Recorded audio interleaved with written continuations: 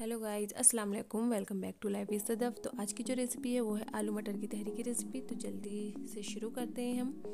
तो सबसे पहले हम पतीली में तेल ऐड करेंगे और जब तेल गर्म हो जाए तो उसमें हम डालेंगे ज़ीरा। और जब ज़ीरा गर्म, ज़ीरा हो जाए तो उसमें हम डालेंगे एक मीडियम साइज़ का बारीक कटा हुआ प्याज।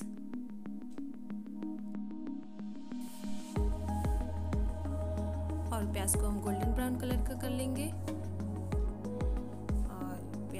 गोल्डन ब्राउन हो गई है और अब हम इसमें ऐड करेंगे लहसुन अदरक का पेस्ट।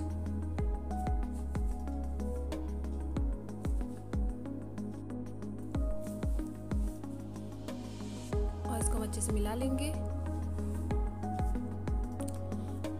और अब हम इसमें मसाले ऐड करेंगे तो एक चम्मच डालेंगे धनिया पाउडर, एक चम्मच लाल मिर्च पाउडर और आधा चम्मच से भी कम हल्दी हल्दी पाउडर डालेंगे।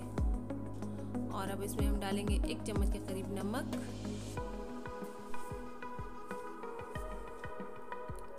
और अब हम इसमें टमाटर ऐड करेंगे। दो टमाटर बारीक कटे हुए। और इसको हम ढक करके दो मिनट के लिए पकाएँगे। थोड़ा सा पानी ऐड करेंगे ताकि मसाला हमारा जले नहीं। और ये देखिए, मसाला अच्छे से नहीं पका है। और अब हम इसमें ऐड करेंगे आधा चम्मच गरम मसाला पाउडर और इसको हम फिर से ढक कर रख देंगे ताकि मसाला अच्छे से भुन जाए। और ये मसाला अच्छे से भुन गया है और अब हम इसमें ऐड करेंगे आलू और मटर।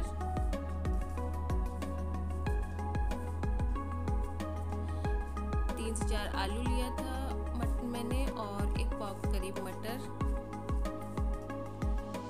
और इसको अच्छे से मिला लेंगे और इसको ढक कर के दो से तीन मिनट के लिए हम पका लेंगे। और इसको हम चला लेंगे और अब हम इसमें चावल ऐड करेंगे। तो चावल मैंने आधा किलो के करीब लिया था, जो कि डेढ़ गिलास के करीब चावल है।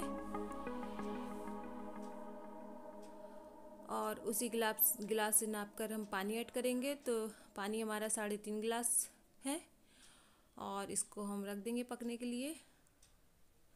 और इसमें ये देखिए, खोल आ गई है। इसमें नमक और ऐड कर देंगे। थोड़ा नमक हमने मसालों में भी ऐड किया था। और इसको ढक कर के सीजने के लिए रख देंगे।